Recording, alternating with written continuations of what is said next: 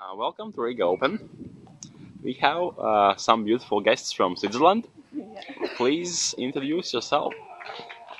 Yes, my name is Beatrice. I'm 15 years old, and this is my first time I'm here. Um, hi, I'm Nina Stadler. I'm 16 years old Mhm. and I play under 18, and it's also my first time here. Mhm.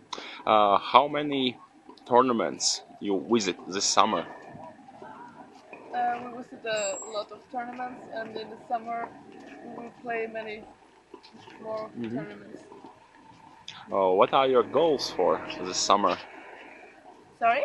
What are your goals this summer? Ah, um, I want to win a lot of tournaments and I want to Uh-huh. uh, win points. So Uh, how high you are on uh, Swiss ranking? Uh, in my age, I'm number two. and me, I'm four. hmm So, how many people came from Switzerland to Riga? Uh, we are 11 people. A whole group. So, yeah. hmm Uh, what are the best things about Riga and uh, this tournament? I think this is a great club, and uh, it's good to play under 12, under 14, under 16, under 18. So, yeah, we can. And it's a good organization, I think. Yeah. So, uh, food, accommodation, transportation is on good level. Yes, it's okay, yeah. It's Mhm. good. And the food is also so- Mhm. very good. Yeah, I like it too. Uh, things to improve.